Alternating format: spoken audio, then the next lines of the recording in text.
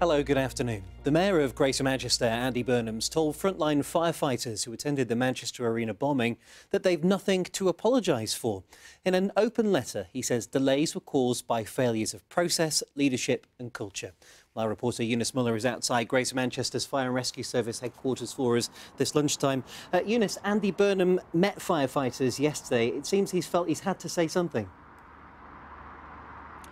Steve, the way firefighters were asked to behave that night left many of them frustrated and angry. And in recent days, we've heard a number of them say they felt ashamed of that their role that night. And that's because it took them almost two hours to get to the scene when other emergency services were there within minutes. That was a decision made by senior staff. And today, Andy Burnham, in an open letter, has said that those frontline firefighters have nothing to apologise for.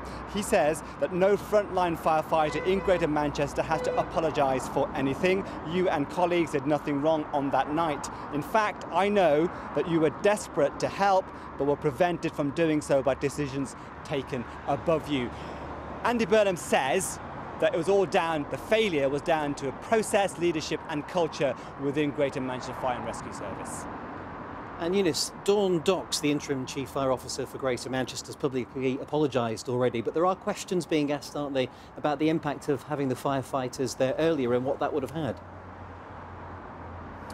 This Kerslake review, which looked at the response of the emergency services, was called for by, by the Mayor, Andy Burnham, and he did that because a number of firefighters came to him um, with their concerns in the immediate aftermath and that of course led to the Kerslake review. And what the review said was that initial response rescuing those people from the foyer could have been a lot quicker perhaps if firefighters were there. It couldn't say whether the victims some of the victims may have survived. That's down to a coroner's inquest. Nevertheless this is what the fire brigades union told us today a lot of the firefighters on the stations, they actually heard the explosion. Um, they, they knew what was going on. They, they were getting uh, text reports. They could hear radio reports. They knew that there were people uh, injured, dying and suffering and they were being stopped from going. So although the apologies uh, and the vindication that it wasn't their fault um, go some way to satisfying their concerns, um, it still, I don't think, will ever repair the damage that was done to, to the morale. Andy Burnham has ordered a whole service review for the publication of this Kerslake report and he makes it clear that he wants firefighters, frontline firefighters to continue to speak out and he wants them at the heart of any review. Okay, Yunus, thanks very much indeed. Yunus Mulla there. Now, some other news this lunchtime. A man's been charged after children were assaulted at a mosque in Ro Rochdale.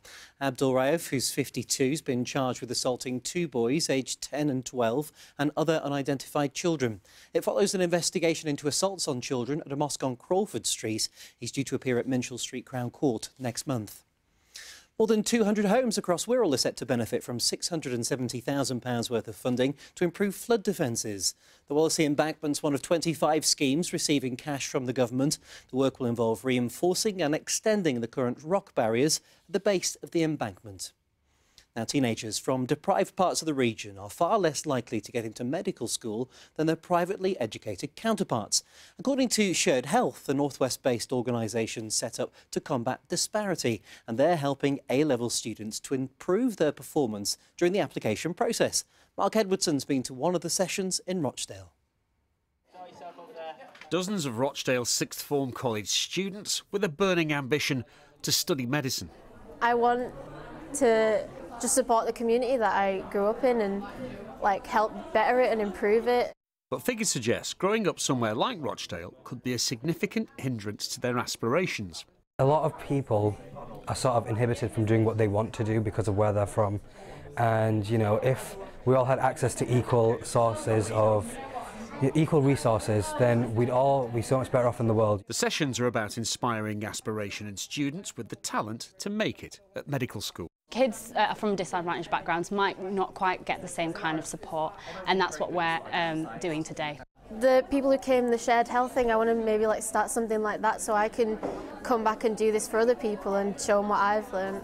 All being well, in less than a decade, some of these students could be qualified consultants or GPs. Mark Edwardson, BBC Northwest Today. And the first ospreys are expected to return to Cumbria over the next few weeks. The birds of prey have been travelling to the Bassenthwaite Lake area from Africa for the last 17 years. Special viewpoints to spot them when they arrive open to the public at Dodd Wood today. Now on to football now, and in League One, Wigan Athletic are playing Oldham this afternoon. Current score is nil-nil. And in Super League, Salford Red Devils are playing Catalan Dragons, currently 12 points to 4. Here's the bank holiday weather now from Alex Hamilton. Good afternoon. Well, Easter weekend is looking rather cloudy thanks to this area of low pressure. It's bringing some wet weather as well with it and perhaps even some snow over the higher ground.